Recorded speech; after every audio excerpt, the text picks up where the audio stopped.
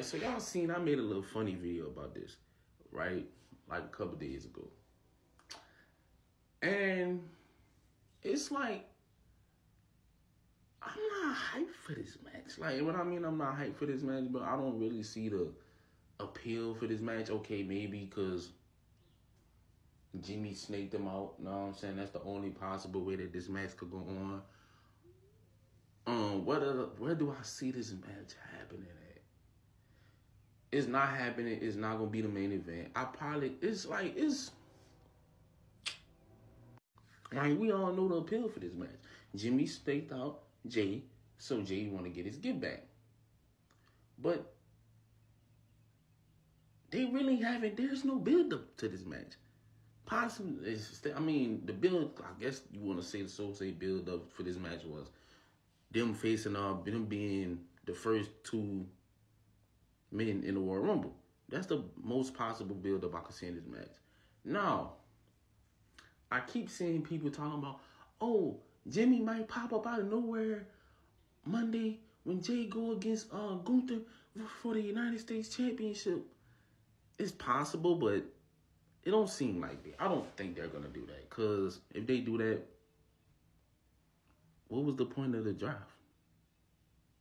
That's my personal opinion. That's what I'm thinking. I don't really see how this could like how they could set this match up.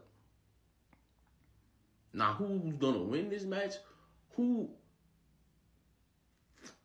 If this match happens, I feel like the person who benefits more from this match is Jey. Jimmy don't benefit from this match because I don't look at Jimmy as like a a solo act. I, I really don't. I don't know what it is to me. Like he's funny. He the Kim. He the comical. guy. He he's. Hmm. It's a. It's, it might be a bad comparison, but it might not be. I don't know. Y'all let me know in the comment section if it is.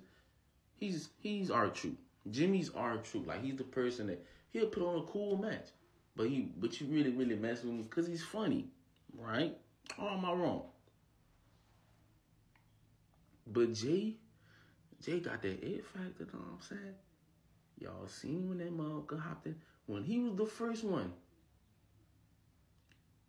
in the Royal Rumble. And he started doing the whole crowd did the shit. Every time he comes out in the ring and he does that, the crowd go fucking crazy. The crowd goes crazy, bro. They really do.